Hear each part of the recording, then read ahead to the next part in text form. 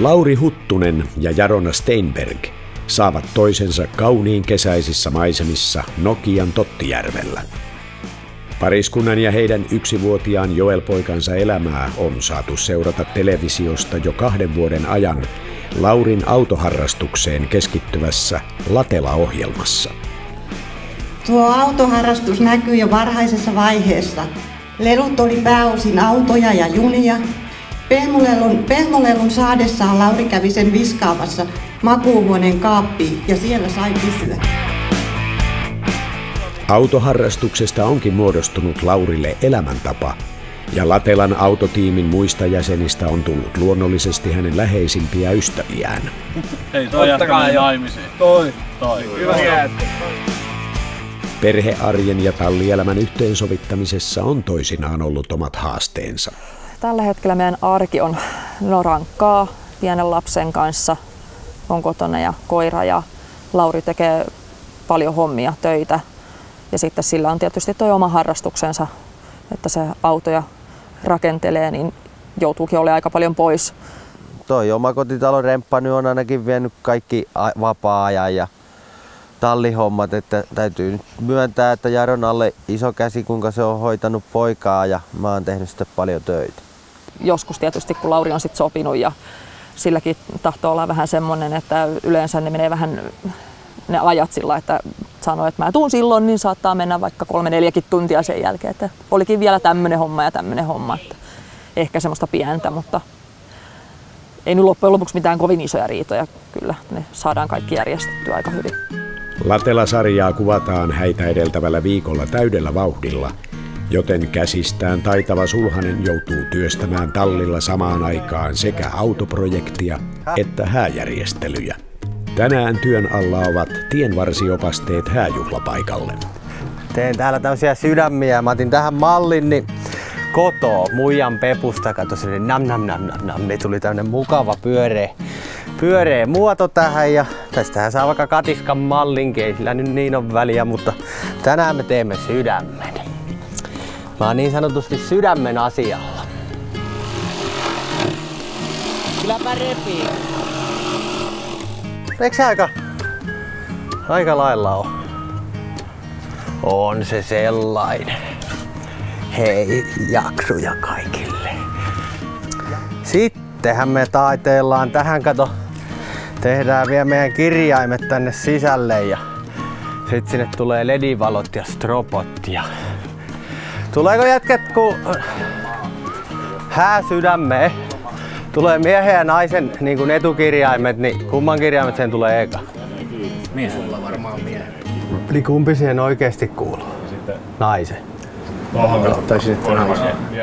Vähemmän sanomista siitä tulee. Ja sitten se sanoo kumminkin, että nyt tää näyttää, että mä pakotin sut naimisiin, että sä et halua. Ja sitten jos mä laitan omani siihen, niin sit se on, sä oot hirviö, kun mä halusin naimisiin. Hm. Naiset on niin ihania. Niin. Se vähän kumpiakin, niin se on sellainen niin kompromissinen ratkaisu. Voi olla, että tänään tulee esiaviollista seksiä, jos nämä onnistuu.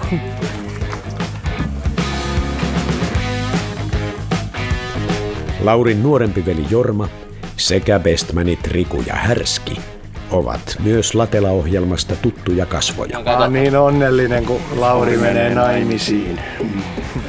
Ja tämän, mä en nyt usko, että toi naimisiin mennä kauheasti Lauri ja Jaronan suhdetta siinä sijaan muuttaa, että se on vaan yksi sukunimi sinne tänne, että ne on niin värikäs pariskunta muutenkin. Että. Tahdotko ottaa Jarona Steinbergin aviovaimoksesi rakastaaksesi häntä myötä- ja vastoinkäymisissä? Tahdon. Mä oon saanut... Sä mitään oo saanut. niin. Mä otin. niin. No mikä siinä naamassa on? Ei, se, sä oot kuule naaman valinnut, niin se on nyt semmoinen. Mä oon ainakin tosi onnellinen, että mä oon saanut tommosen miehen. Huumorin tajunen, komee, kyllä. Joo. Ihana isä. Mitä muuta voisi toivoa mieheltä? Rahaa. Paljon rahaa. Vähän meni.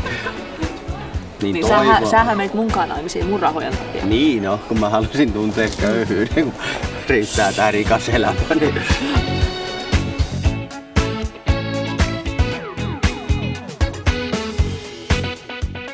No Huttusen Lauri onhan se nyt oma itsensä ollut aina ja painanut nytkin täysiä ja uskomattomasti saanut vielä hää kasaan ja vielä Jarona on onnellinen ja se on onnellinen ja Joellekin on onnellinen ja Kaikki on. Jos jotain, jos jotain voi sanoa, niin Huttusen Tarjalle ehdottomasti respektit. Joo. Jotenkin meikäläisen Tarja piti tosi Tarja piti hienon puhun. Todella hienon puheen. Tarke näin meidän kesken.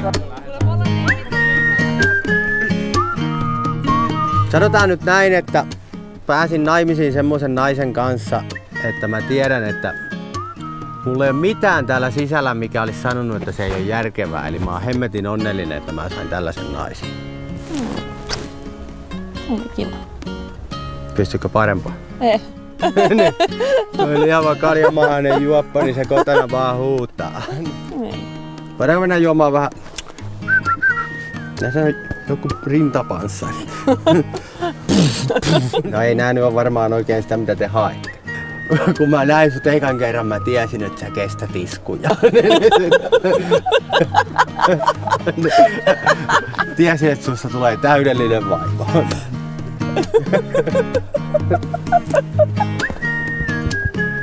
Mitä? Ton takia mä tätä rakastan.